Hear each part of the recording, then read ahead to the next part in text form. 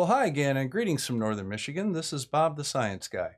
Today we're kind of getting into the home stretch of this documentary, and today we're going to talk about the sun. We've learned that the stars are in the firmament, which is a dome over the Earth of unknown thickness or distance from the surface. We've learned that the moon gives out its own light, which is cold, and it has the unique property that you can turn off the lights over parts of it on a regular basis. Today we're going to learn a little bit about the sun. And I'm actually kind of looking forward to this because it's very interesting to me what they have to say about it as far as what it's made of, how far away it is, and how it seems to operate. So let's cue up the music and see what they have to say.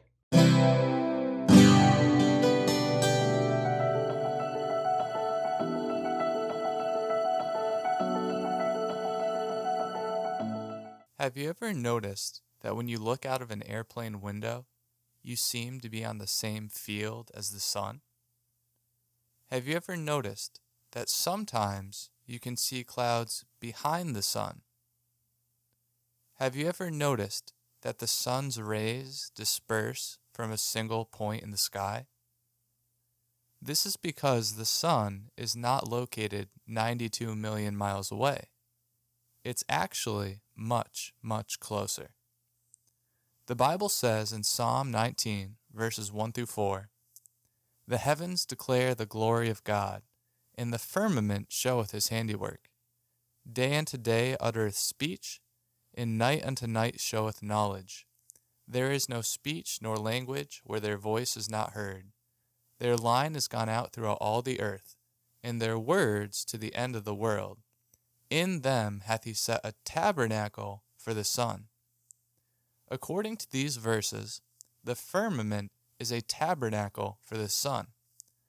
A tabernacle is a tent like structure, and God has placed the sun within that tent. The sun is located below heaven, beneath the firmament. Okay, so this brings up a couple of interesting points. The firmament is further away than the sun is. So if we can figure out where the sun is, we might have some idea of where it is in relationship to the firmament, would we not? Well, that would mean that the firmament, which is the second heaven, would be enclosing the first firmament, which is the sky. And if the sun is in the sky, it's like having a heater in a room. Wouldn't that warm up the atmosphere? If the sun was local and those crepuscular rays pointed to where the sun was, we could triangulate it, couldn't we? Yet, when Blue Marble Science and I both tried to triangulate the sun, we came up with different locations of the sun, even though we were only about 500 miles apart. That's kind of inconsistent, but we'll let them go on. The world also tells us that the Earth orbits the sun. This is impossible because the sun was created three days after the Earth. Now, I'm kind of curious how that works because we can actually measure the orbit of the Earth around the Sun. We can document it, there's evidence for it. So, where's the evidence that we're not orbiting the Sun? Can you bring some out? And while you're at it, would you mind explaining the seasons to me? There was an Earth before there was ever a Sun to orbit. Psalm 19, verses 4 through 6 say, Their line has gone out through all, all the earth in their words to the end of the world. In them hath he set a tabernacle for the sun, which is as a bridegroom coming out of his chamber, and rejoiceth as a strong man to run a race. His going forth is from the end of heaven, and his circuit unto the ends of it, and there is nothing hid from the heat thereof. So there's nothing hid from the heat thereof, which would follow if the sun was beneath the firmament there'd be a lot of heat going on, wouldn't there be? I mean, if I have a heater in a small room, it heats the room up very quickly. So why doesn't the sun heat up the atmosphere just as quickly? And there is nothing hid from the heat thereof. According to this verse, the sun has a circuit or circular route within the firmament. A good way to picture it is this Imagine hanging a light bulb in the middle of a room. Then imagine swinging that light bulb so that it goes in circles. That's what the sun is doing above the earth. It takes approximately 24 hours for the sun to make a full circuit over the earth. You know, I'm going to go ahead and stop you right there because I'm a little bit confused. Now, if you look at the sun, which is right here, the boundary between lightness and darkness is right here. If we go down this way, there's the boundary between lightness and darkness. Why is this light over here? Why isn't it kind of go like this? How does this whole side of this nice curved surface here get lit up if the sun's way over here? Did you guys ever think about any of this stuff? I'm just curious. Have you? How would you explain that? The light from the sun covers approximately one half of the earth. Seriously, man, you think my head covers half the earth? That looks like it covers about a quarter to a third of the earth. Why isn't the day half the length of the night? And again, isn't this closer to the sun than that down there? Come on, guys. The light from the sun covers approximately one half of the earth, while the light from the moon covers the other half. When the sun rises in the morning, that means that the sun is traveling towards us. At noon, the sun is directly above us, and in the evening, the sun is traveling away from us. This is why we feel no movement when we go outside. It is because the earth is not moving. Here's another one of those very inconvenient questions. You obviously understand what the world says the earth does. It's a sphere and it rotates. If you were standing in, say, Chicago, you say that we should feel a rotation. Okay. In what direction will we feel it? This circular pattern can be most clearly seen by taking a time lapse of the night sky. You can see the star's circular pattern over the course of time. Well, so tell me, those stars are moving in a clockwise direction. Are you looking north or south? And if you turn around, what direction will the stars be moving in? Now, I actually built a model of this once. I tried to figure out how I could make the stars move as they actually appear to move. And between them, of course, we have a celestial equator where they move in a linear fashion. So if we had a bowl on top of a flat earth that was rotating, wouldn't the stars by the horizon be moving horizontally instead of in a circular manner?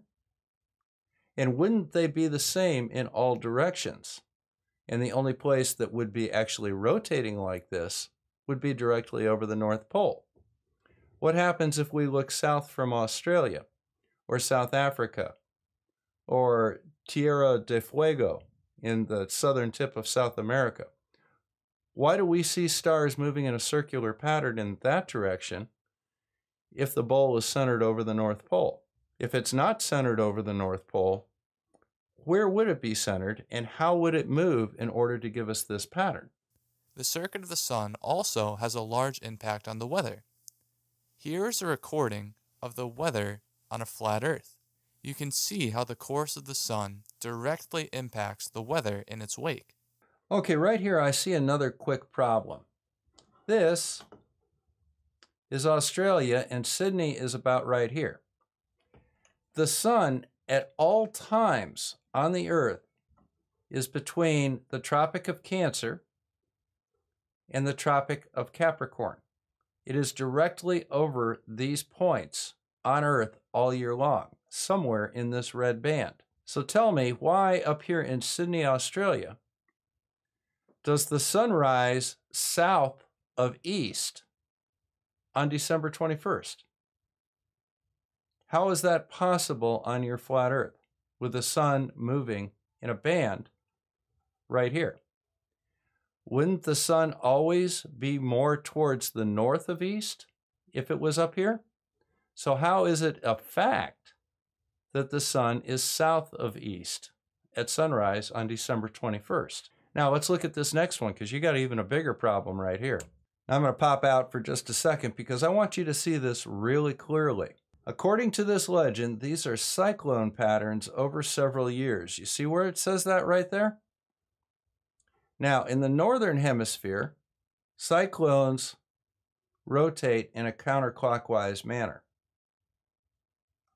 And in the southern hemisphere, they rotate in a clockwise manner. Why is it that there are no cyclones over the equator? You see that? That's completely clear. Now, the reason for that is something called the Coriolis effect. Due to the rotation of our spherical Earth, cyclones in the southern hemisphere rotate in a clockwise fashion, and in the northern hemisphere, they rotate in a counterclockwise fashion.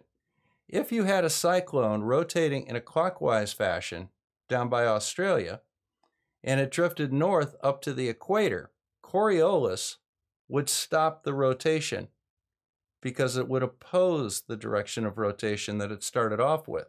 And eventually the storm would peter out.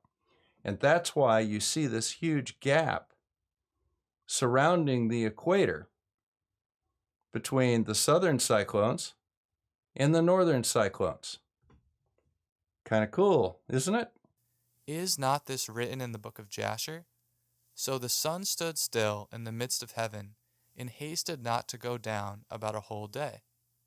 Notice that Joshua told the sun and moon to stand still, not the earth.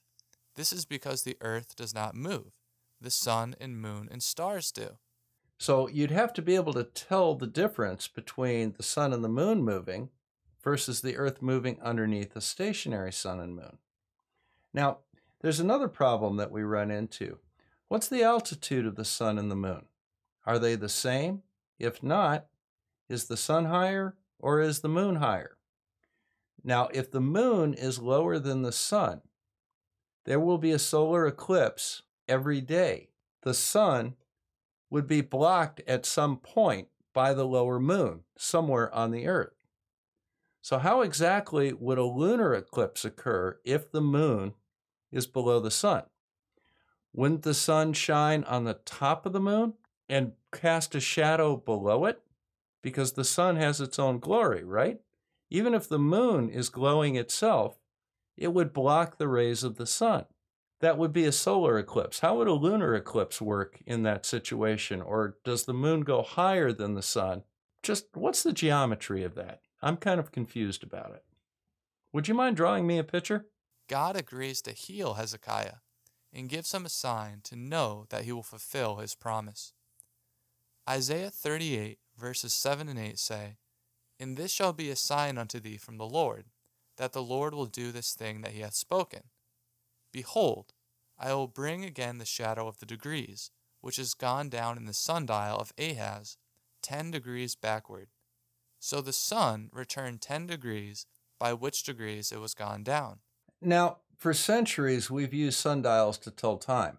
Is there ever a report of another sundial doing this, or was this a one time deal? And how did this particular king rate to have that one sign done just for him? And why, of all the kings that followed him, did they decide not to do it for them? So I'm having a little trouble trying to believe this as being something that is gospel. Notice that it is the sun that returns 10 degrees, not the rotation of the earth. This is because the earth does not rotate. It is the sun that travels in a circular pattern above the earth. One of the most beautiful verses that disproves the idea that the earth is rotating around the sun is Revelation 8, verse 12. This verse says, And the fourth angel sounded, and the third part of the sun was smitten, and the third part of the moon, and the third part of the stars, so as the third part of them was darkened, and the day shone not for a third part of it, and the night likewise. In this verse, an angel darkens one third of the sun, moon, and stars, and the result is that one third of the day is darkened. We are told that it takes approximately 365 days for the Earth to fully orbit the sun. If this were the case, if God were to darken one third of the sun, the Earth would be in complete darkness for approximately 122 days out of the year and have daylight for approximately 243 days of the year. The effect would impact the Earth on an annual level, not a daily level. You are kidding, right? I mean, seriously? You can't really believe that, can you?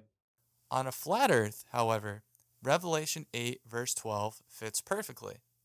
The sun does a full circuit over the surface of the earth every 24 hours.